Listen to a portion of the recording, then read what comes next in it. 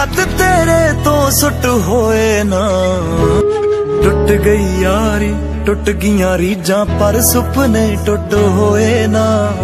ਕੋਈ ਗੀਤ ਥੇ ਆਉਂਦਾ ਏ ਮੈਨੂੰ ਜੋ ਲਿਖ ਕੇ ਭੇਜੇ ਸੀ ਤੈਨੂੰ ਜਦ ਫੁੱਲਾਂ ਵਰਕੇ ਉਹ ਕਾਤਲ ਅੱਖਾਂ ਬਿੱਲੀਆਂ ਹੁੰਦੀਆਂ ਤਾਂ ਹੋਣੀਆਂ ਗਿੱਲੀਆਂ ਯਾਰ ਨੂੰ, ਚੇਤੇ ਕਰਕੇ।